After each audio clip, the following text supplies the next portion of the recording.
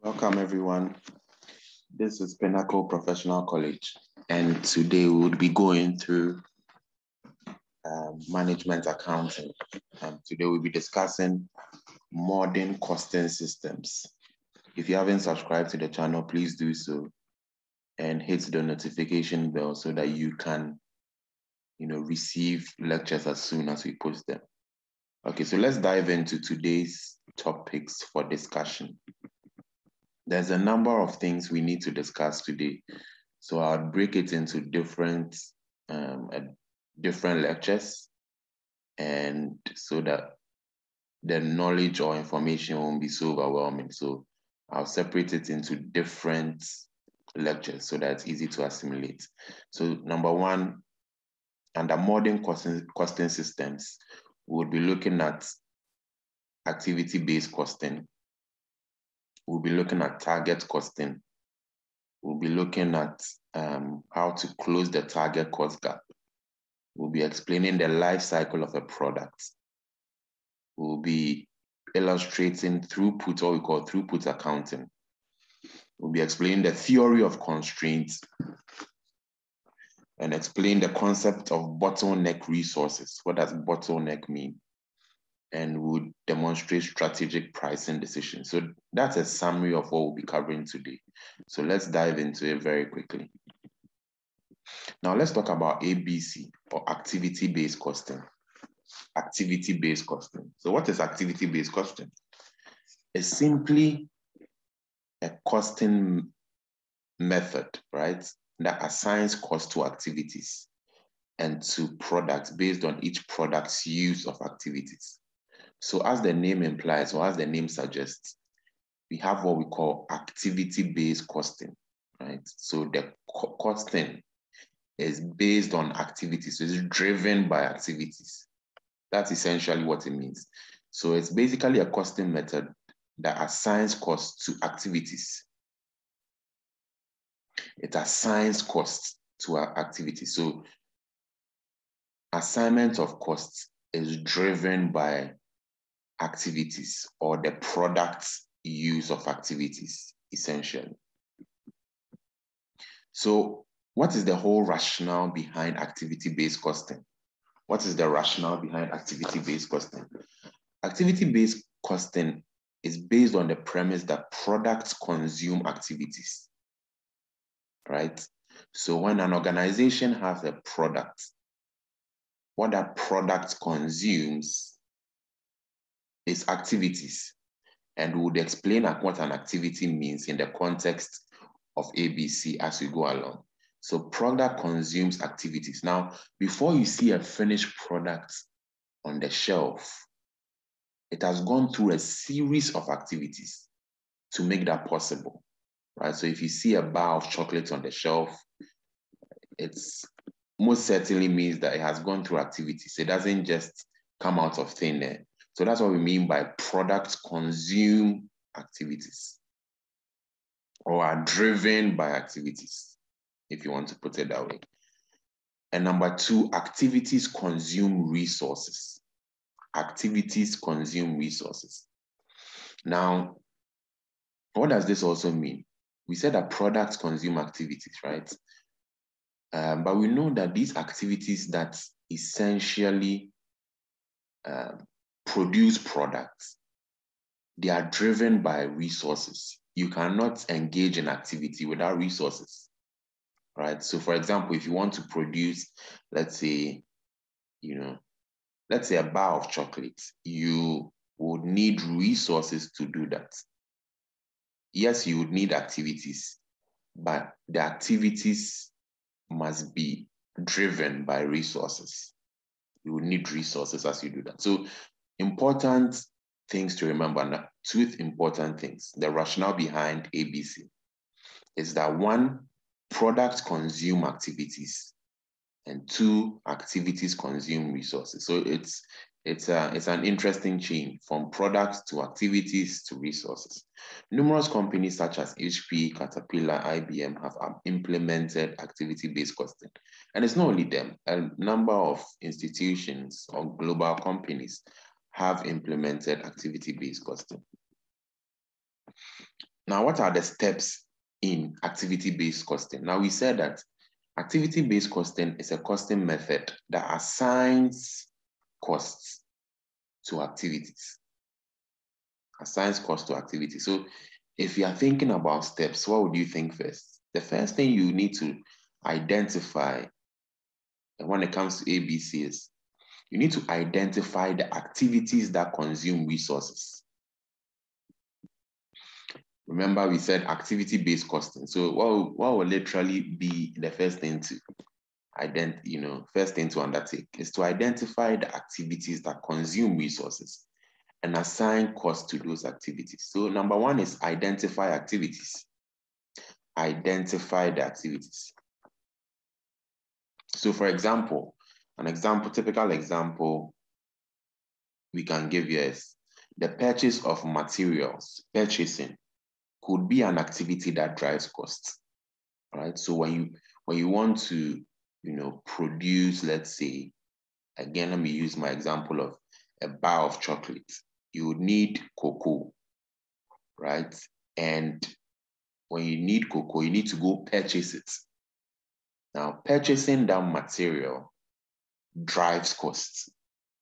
Purchasing that material will drive costs. So purchasing materials could be an activity that drives costs. Purchasing materials could be an activity that drives costs. So that's that's a typical example of identifying an, an activity that drives costs. So purchasing or purchasing materials is an activity that you know drives costs.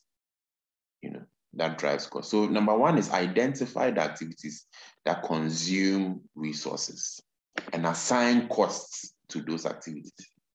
So after you have identified the activities, assign costs to them. Number two, you identify the cost drivers associated with each activity.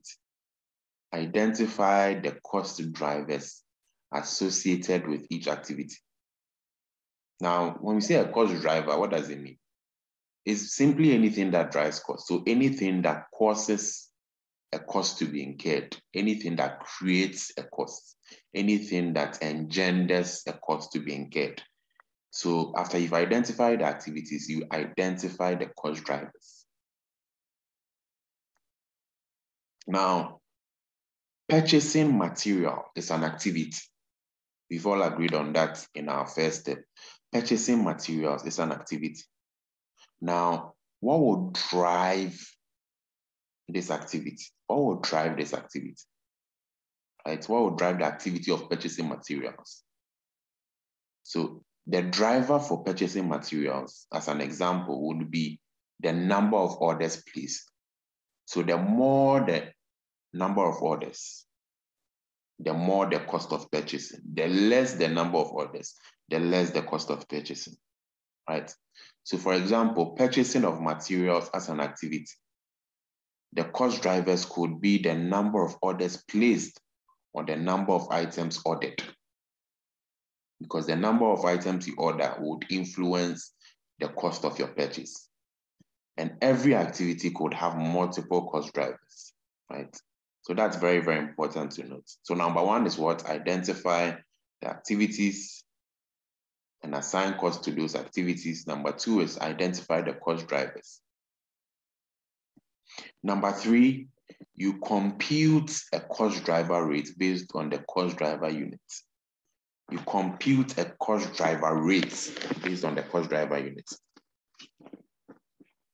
Now, what is a cost driver rate?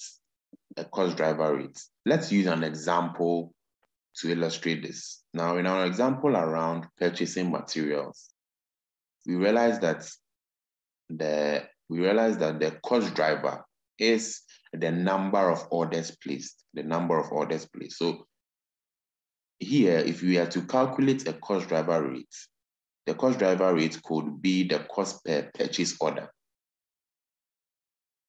That's a typical example, the cost per purchase order. That's a typical example of the cost driver rate. So how much is your cost per each order?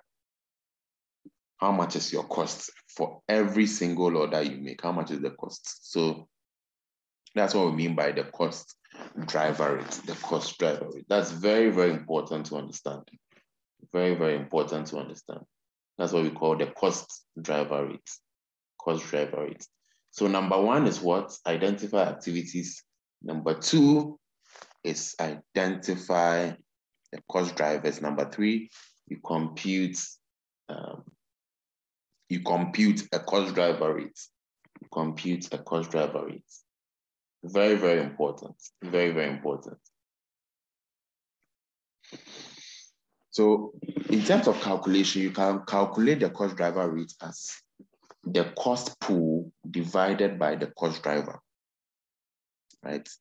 The cost pool divided by the cost driver. That's also a way you could look at it. Number four, then you, number four is allocate production cost to products by multiplying the cost driver rate by the volume of cost driver units consumed by the product. So you can allocate production cost to products because at the end of the day, that's what you want to do, right? You want to allocate production cost to products because in costing a product, you need to include what it took you to produce that product. You need to allocate that cost to the product. So allocate production cost to products by multiplying the cost driver rate by the volume of cost driver units consumed by the product. So number one, you identify the activities. Number two, you identify the cost, um, you identify the cost drivers. Number three, you compute a cost driver rate. Number four, you allocate production costs. Now, what are the benefits of ABC? What are the benefits of ABC? The benefits of activity-based costing are numerous. They are numerous, right? Um, number one, activity-based costing provides more detailed measures of costs than traditional cost allocation methods, right? So it's a more detailed approach to costing, I would say. It's a very more detailed approach to costing rather than the traditional allocation methods, right? It's more detailed because it goes through an elaborate process of identifying the activities and then assigning costs to those activities. That's very, very elaborate. And then based on that, you can allocate you know, production costs to products. Number two, activity-based costing can help marketing people by providing more accurate product costs as well. So it's, you know, one of the things that marketing people need when putting their product out there is they need to price their product properly. Now, in order to price your product, you need to understand how much it is costing you, how much it is costing you to price the product. To price the product, you need to understand how much is this thing costing me? How much is this thing costing me? So what activity-based costing does is to give an, a more accurate product cost. It gives a more accurate product cost than traditional methods. So it helps marketing people. Number three, it helps make a decision about pricing and which um, unprofitable product the company should eliminate. So we already talked about pricing in our previous benefits that we mentioned. It also helps to make a decision about pricing because it gives you know, a certain level of accuracy when it comes to product costing. Number four, production also benefits because activity-based costing provides better information about the cost of each activity. Right? So what does this even mean? What does this mean? One of the things activity-based costing does is that it helps an organization identify cost-causing activities, right? Now, once you understand the things that drive costs, you are able to take steps to reduce costs, right? So for example, let me just use a typical example. Let, let's say if you look at your personal income, right? And you believe that you are overspending month on month, you are overspending on different kinds of things. One of the things you would typically do is to break down your costs or see the things that are driving your costs in your own personal life. What are the things that are driving my costs? Is it that you eat out very often or yeah, let's say you are spending on unnecessary things. So once you're able to identify the cost causing activities or the cost drivers, then you are able to have a better handle on reducing production costs. Number five, it assists in cost control, right? Which we talked about. It's it assists in cost control. You can control costs because you understand the drivers of costs. Number six, activity-based costing provides more information about product costs than traditional method. Traditional method, but requires more record keeping, right? So with activity-based costing, organizations gain more information about product costs. They gain more information about product costs um, than just traditional methods. They gain more information about product costs. So that's very, very important, right? You want to understand the details of your costs. So you see, there are numerous benefits to activity-based costing, numerous benefits. Number seven, it also ensures greater coordination and teamwork amongst functional management accountants, production managers, marketing managers, and other non-accounting people. You know, to gain more information on costs, it means that you would have to interact or coordinate with other functional managers. Because when you look at how a particular cost is incurred, the drivers that contribute to that cost um, could come from different sections of the organization. And therefore, it ensures that to get the full scope or full information about a cost, um, it allows it, it allows that you coordinate and interact with other functional managers, production managers, marketing managers, and even other non-accounting people um, in order to establish more information or sound information on your costs. now, what are the limitations? Obviously, there are numerous benefits to this. There are numerous benefits to this, but what are the limitations of activity-based costing? What are the limitations of activity-based costing? What are the limitations of activity-based costing? Number one, it is difficult to trace cost objectively to the production or delivery of a good or service, since some costs are period costs and not so objectively traceable to an activity. Sometimes you would find that it is difficult to trace a cost objectively to the production of a good or service right? Um, so sometimes it can be difficult because the idea of ABC is that you trace costs to a product or to production, right? So um, sometimes it's difficult to do that because so because some costs are period costs. They are just period costs. And what are period costs? Period costs are simply costs that are not directly tied to the production process. They are not directly tied to the production process. So if you want to understand how a product is made, there are things that are directly tied or linked to the product, and there are things that are indirectly tied to the product. Period costs are not directly tied to the production process. They are not directly tied to the production process. Please remember this. Um, so a typical example of a period cost would be overhead. Overhead, right? They are not directly tied to the production process of a product. Sales, general, and admin expenses can sometimes are also period costs. Are also period costs. So sometimes it's difficult to trace cost objectively to the production or delivery of a good or service. Number two is it also does not consider potential conflicts, especially where there are more than one cost drivers. So sometimes there will be multiple cost drivers. And when there are multiple cost drivers, it creates you know, a scene for potential conflict. The question here will be which activity drives cost then? Yes, there are multiple activities. So the next question would be, you know, what is the contribution of each of the activities to the cost? You know, and that's a, a very, very hard question to, to answer sometimes.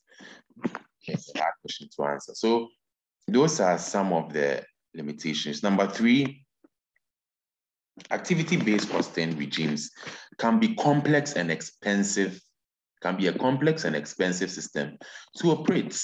It's not cheap. Activity-based costing isn't cheap. It can be expensive.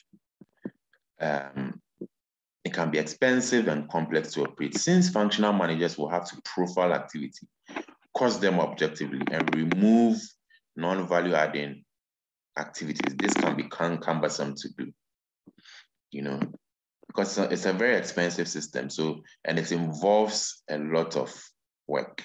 It involves a lot of work. So that's one limitation of ABC.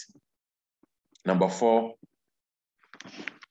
allocation of indirect costs is actually somewhat arbitrary, even using sophisticated accounting methods. So if you have um, an indirect cost, you know, allocation of this indirect cost to products is arbitrary. It's arbitrary. It's arbitrary. So um, that's also a challenge. That's also a challenge with um, with um, ABC as a costing method.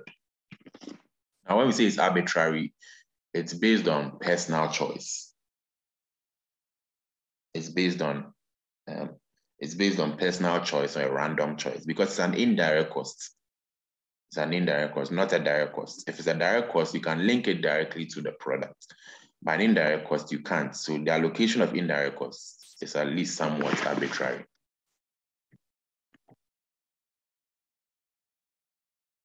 So let's look at, these are some questions that you can, you know, you can try to answer in your free time. Distinguish between traditional costing method and activity-based costing method. What is the difference between traditional costing method and activity-based costing method? Number two, identify and explain five steps in ABC. How do we improve ABC in practice? How do we improve ABC in practice? You know, so in terms of distinguishing between ABC and traditional costing method, one of the things you need to know with traditional costing method, it's more simplistic and less accurate compared to activity-based costing. Right? It's more simplistic and less accurate compared to activity-based costing. Right. But for activity-based costing, it's more complex, but also more accurate compared to traditional costing methods. Number two, we talked about identify and explain five steps in ABC. We discussed that from identifying the activities to the last step, which is allocating production cost um, how do we improve ABC in practice? Improve ABC in practice by gaining more information about costs and what drives it. You know, so these are some questions you can think about in your spare time um, as you, you know, as you as you watch this lecture or after you watch this lecture, sorry. So improving activity-based costing. How do you improve activity-based costing? How do you improve activity-based costing? So this question, this um, lecture is going to answer how do we improve ABC in practice?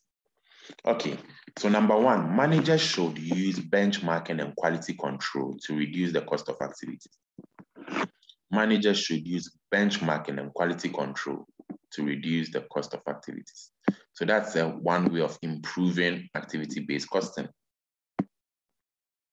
you know, if you use quality control, ensuring that, you know, there's a solid quali quality control system in the organization, helps reduce the cost of activities. Because if there's a good quality control system in place, it reduces the amount of reworks. So let's say you, you are into producing cars, right?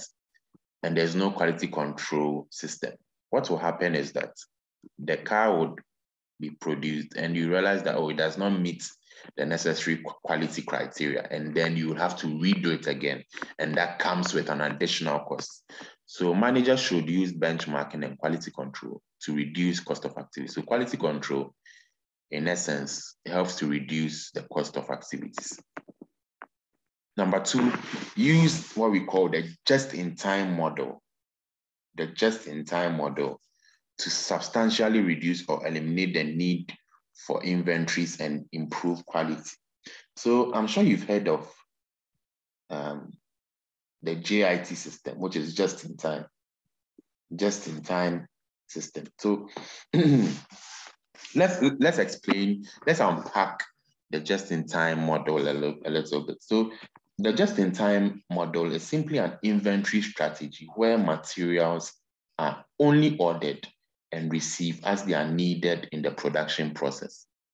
So there's no stocking of inventory in the warehouse, right? this is a this is a very very interesting system where materials are only ordered and received as they are needed in the production process. So if materials are not needed, they are not ordered. So the goal of this method is to reduce costs by saving money on overhead inventory expenses. Right. So that's why we that's why that's why the name we have the name just in time right? You only order and receive goods as long as you need them in the production process. If you don't need them, you don't order. You don't order. And this helps to um, reduce costs as well. So use the JIT model to substantially reduce or eliminate the need for inventory.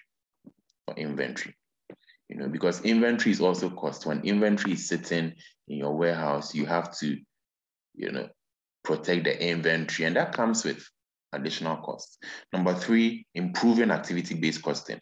You identify quality problems using control charts, Pareto diagrams, and cause and effect analysis, cause and effect analysis.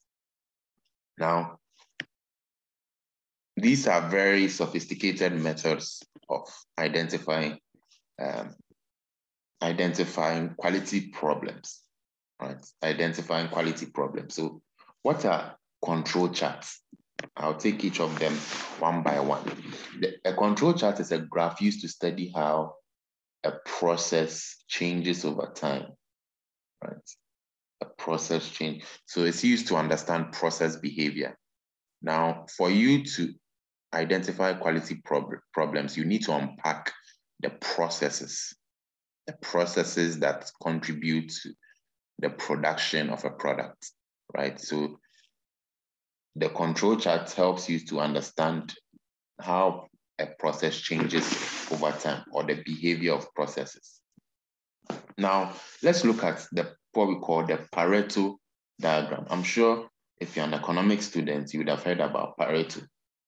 Pareto. So, so a Pareto diagram, a Pareto diagram is simply is is is basically a simple um, it's basically a simple chart.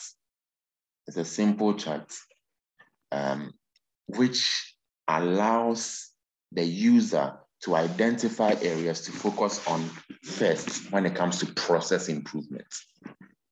It's a simple chart that allows the user to focus on, to, to identify areas to focus on first when it comes to process improvement, right? So we are talking about quality problems here. So why are all these methods focusing on process?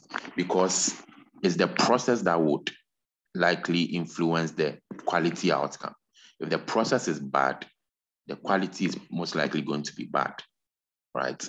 So the priority Pareto diagram is a chart that is used to identify areas to focus on first in process improvements. They also have what we call cause and effect analysis. Cause and effect analysis. Now, this is somewhat self-explanatory. This is somewhat self-explanatory.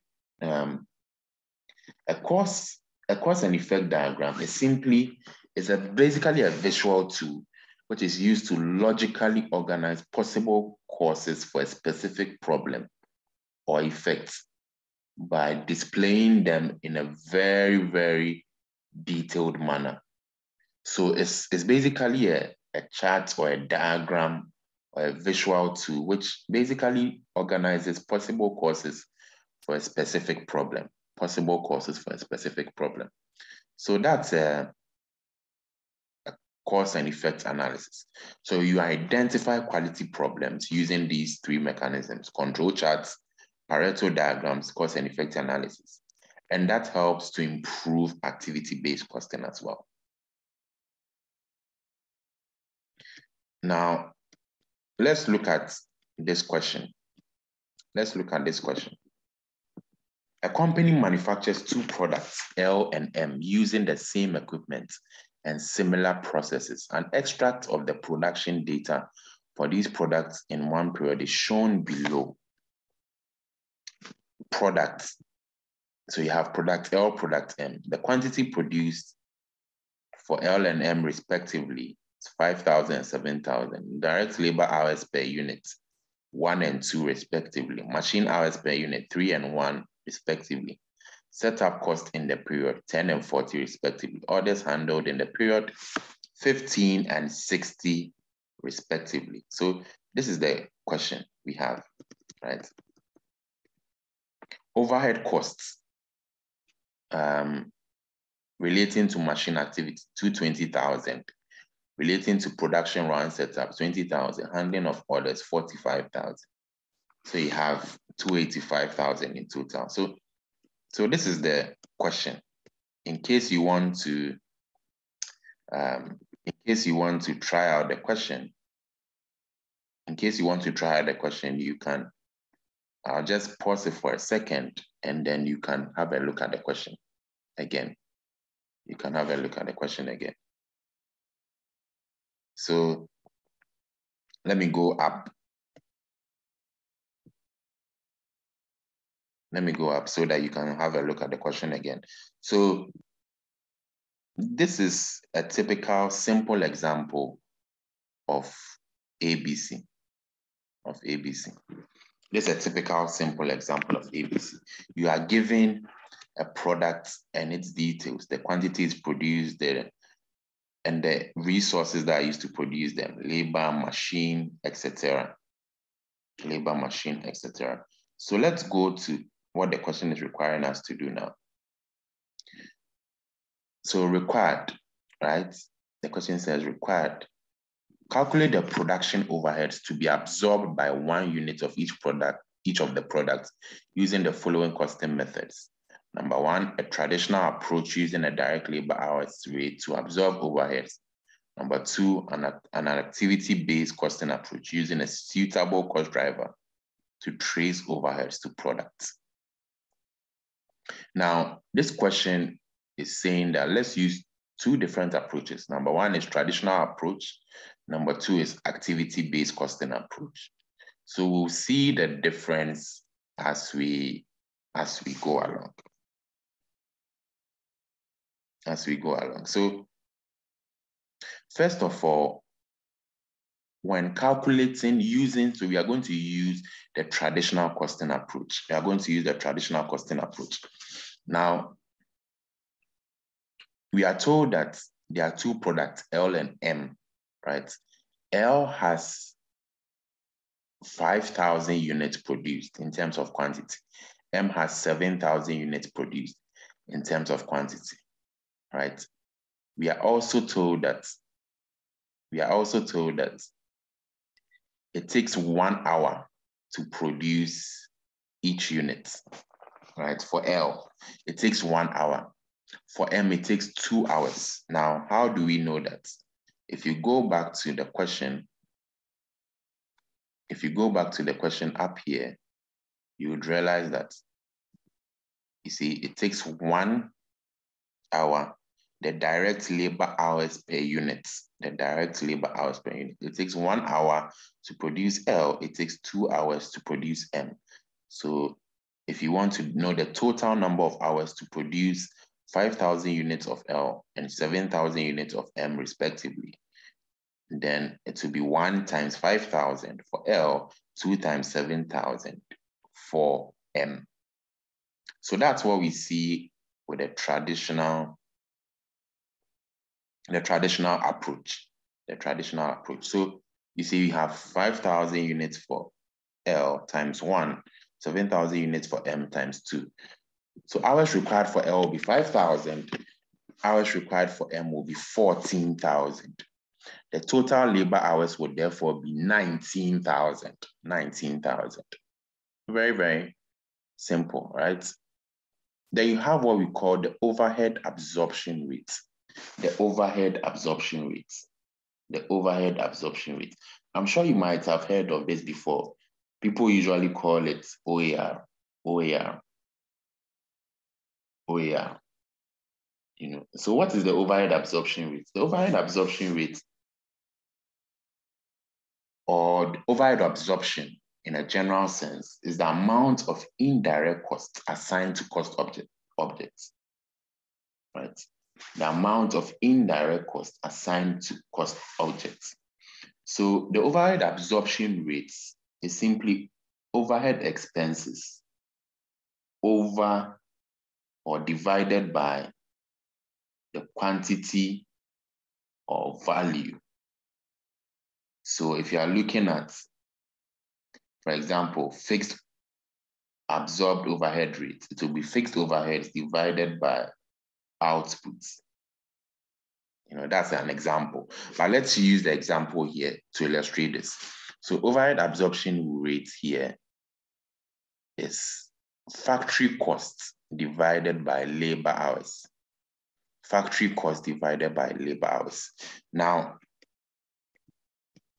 now let's go back to the question to, to see you know, why we are saying factory cost divided by labor hours. Factory cost divided by labor hours. Let's let's let's go back to the question to see. Now, this is the overhead cost, right? You are told this is the overhead cost, which is the total factory cost. We are calculating overhead absorption rate. Now, when you hear rate, you should know that it's one thing divided by another. One thing divided by another. So if you hear overhead rate, absorption rate, it's overhead divided by something. You overhead divided by quantity or a certain value, right? So you have total overhead cost here. One relates to machine activity, the other relates to production runs, the other relates to orders. And the total comes to 285,000, 285,000. That's what we see here, right? So we figured out the total production cost, sorry, the total factory cost side right? So you have the factory cost here, right? But we should know that this factory cost is driven by labor hours. Is driven by labor hours. Now, why are we using labor hours, right? We said that the overhead absorption rate is simply the overhead ex expenses divided by a certain output or even machine hours or even labor hours. And that's why I use the general term, a quantity or a value, right? Quantity or a value. You see, so we need to understand how the overhead is being absorbed. Here we are told that a traditional approach using a direct labor hours rate to absorb overheads so what does that mean? It will mean that our overhead absorption rate will be total factory cost divided by labor hours, divided by labor hours. So divided by labor hours. That's very, very important. That's very, very important. So, so what would this mean? well, what would this mean, right? It will mean that we divide the total factory cost by the direct labor hours, by the direct labor hours. Now, how do we come about the direct labor hours? Remember that we calculated it. We calculated the labor hours when we multiplied 5,000 by one and 7,000 by two for L and M respectively. We came to a total of 19,000. Now, if you divide the 285,000 by the 19,000, that's when we get 15. So the overhead absorption rate will be 15 Ghana cedis. Will be 15 Ghana cedis. Now, after this, you allocate the overheads to the product. Remember, remember um, the steps we talk up, talked about we allocate the overheads to the product. So it takes one hour to produce a product for L. So you multiply 15 cedis, which is the overhead absorption rate, by the hour. Then you have 15 Ghana cedis per unit. For M, it takes two hours. So you multiply the overhead absorption rate by that. And you get 30 cedis per unit. 30 cedis per, per unit. So for L, it's 15 cedis per unit. For M, it's 30 cedis per unit. One hour here refers to the direct labor hours per each unit. Two hours here refers to, it takes two hours of time for each labor to produce a unit of a product. So two hours, one hour. So you multiply one hour by 15, two hours by 15, you should get 15 cedis and 30 cedis respectively.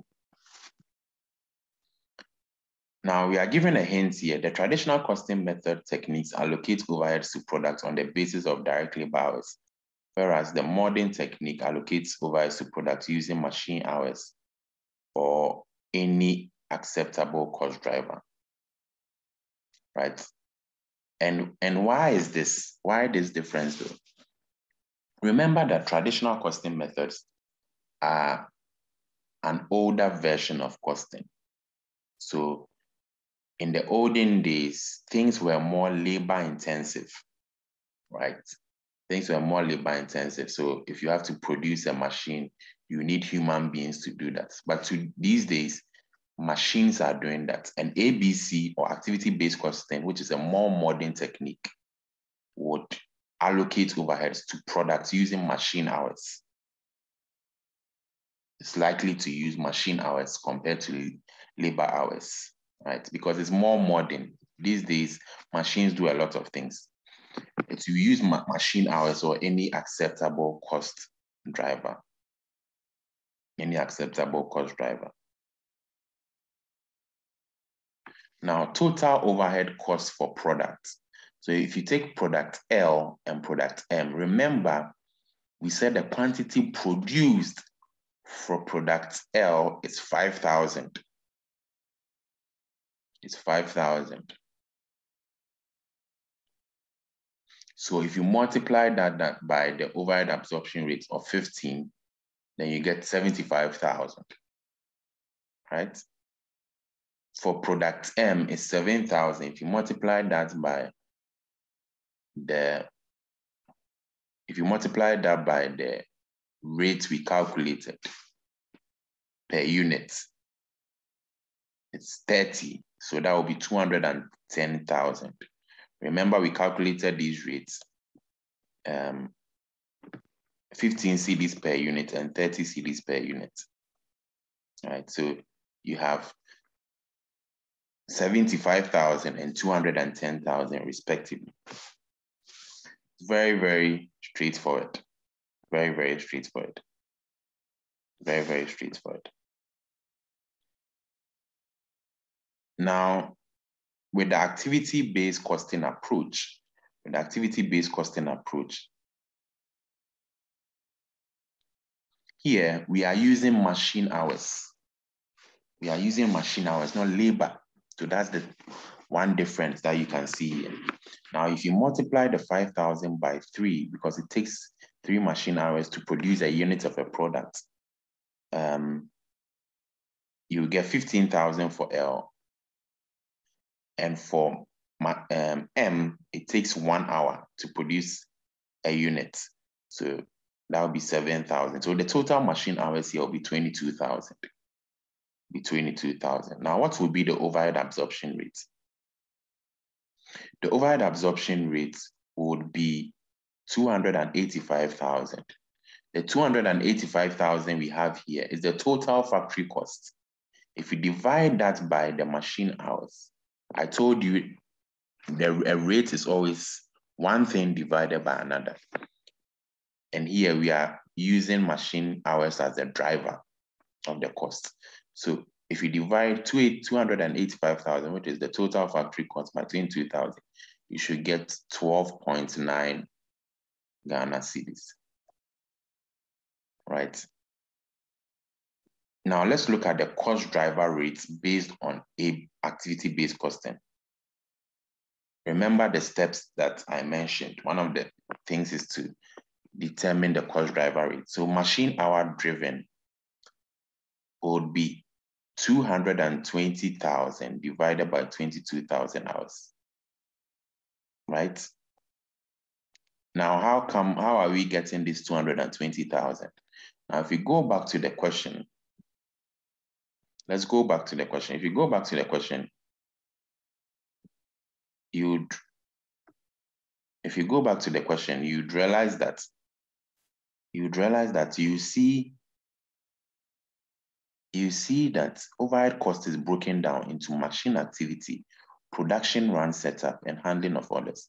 So machine activity, 220,000, production run setup, 20,000, handling of orders, 45,000. And that's what we have here. And that's what we have here.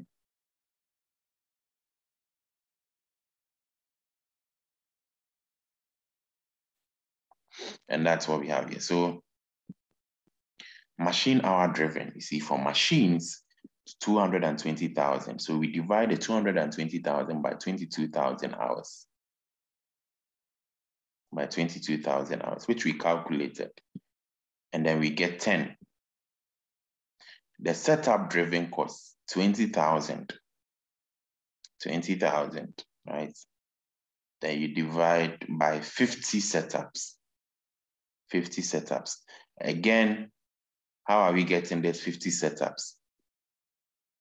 How are we getting this 50 setup? Let's go back to the question. So let me show you exactly how we get the 50 setups.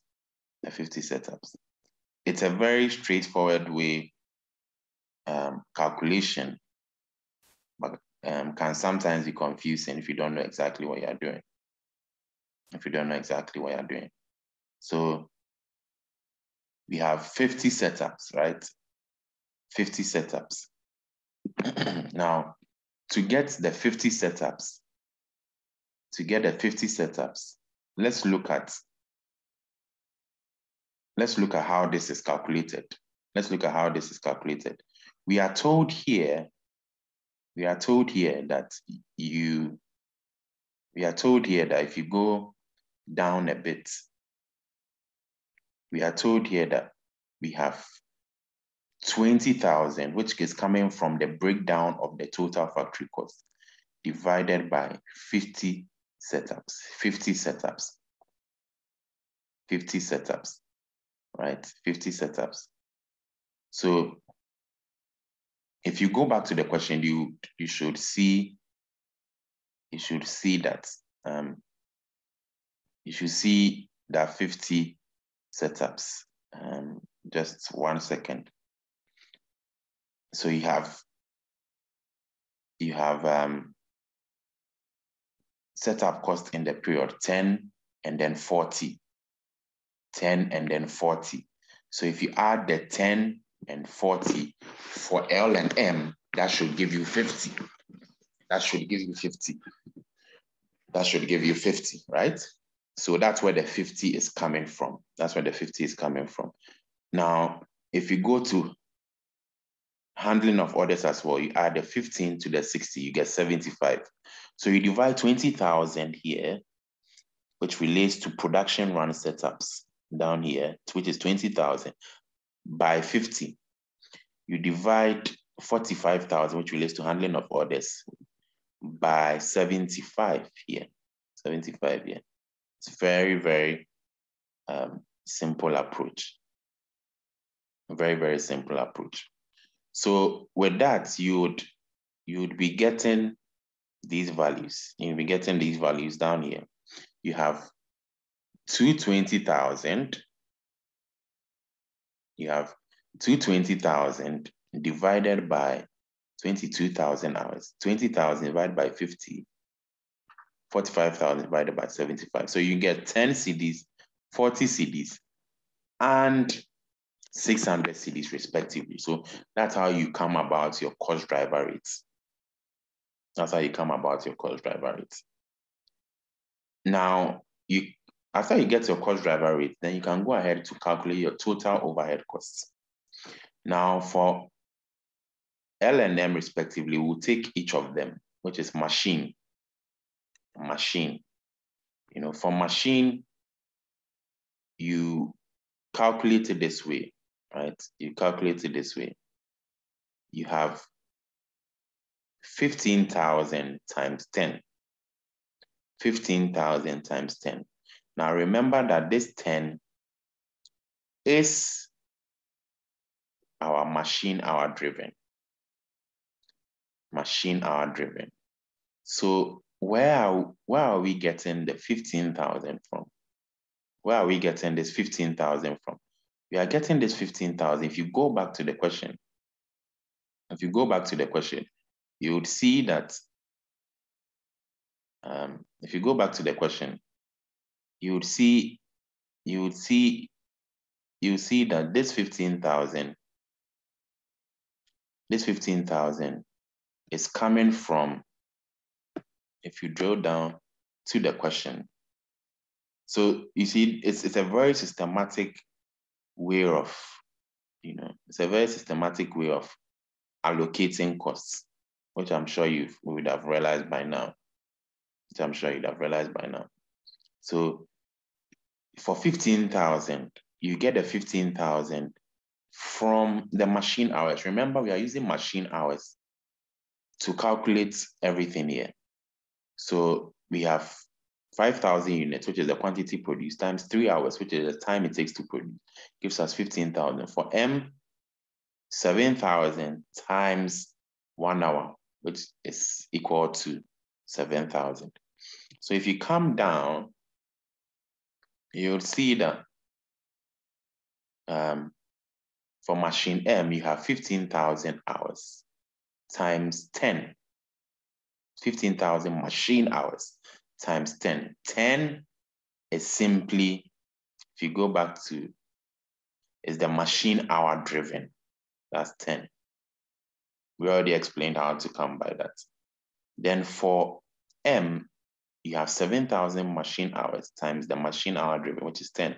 You have 150,000 for L, 70,000 for M. In terms of setup costs, setup cost, you have um, 400, the setup cost driven, which you see here, setup cost driven is 400, right? For machine L, the setup cost was 10. And that's why come you see 10 here. So 10 times 400 is 4,000. For machine L was 40. So 40 times 400 16,000.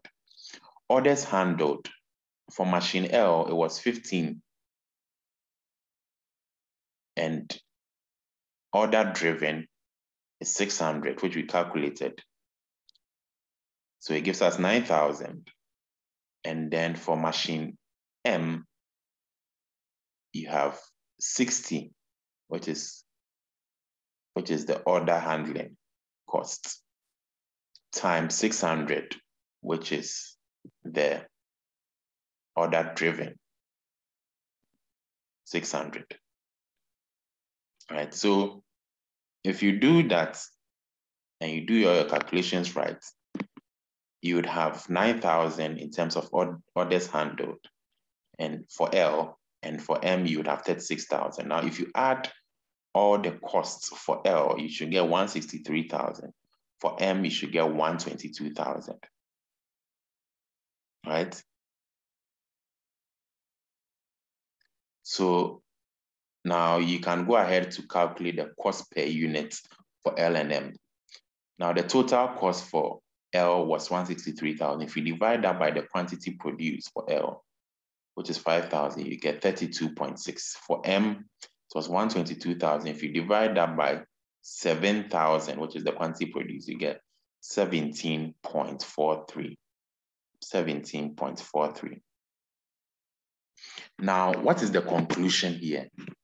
What is the conclusion here? And I would work some examples on activity-based costing, hand solved, so that you can clearly see the process.